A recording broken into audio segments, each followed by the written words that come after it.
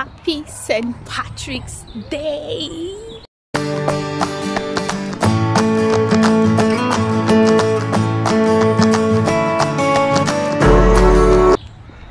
So we're at the park.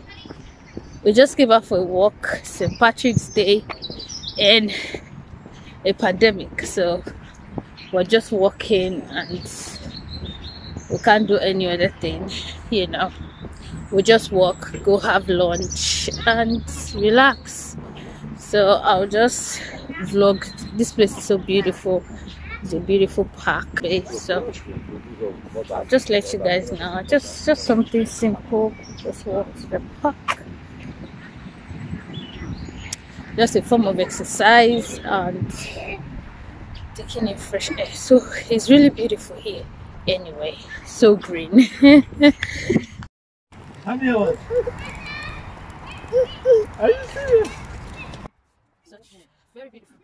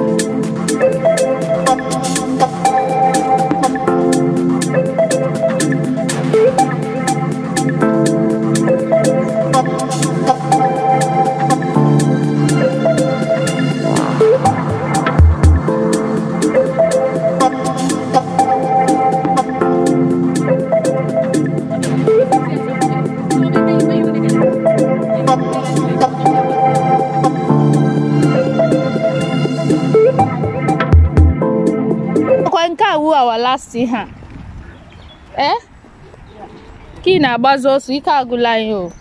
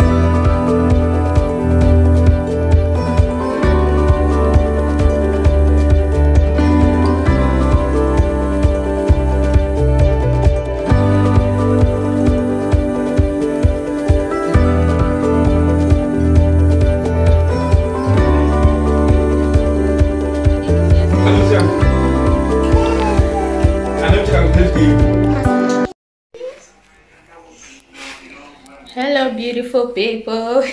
We're back oh. I couldn't cover a lot. I couldn't like i'm even tired. We did a lot of walking. We had um, lunch. We bought this goat meat issue somewhere and that was it for the day. And it's seven. I'm about to start cooking. So yeah.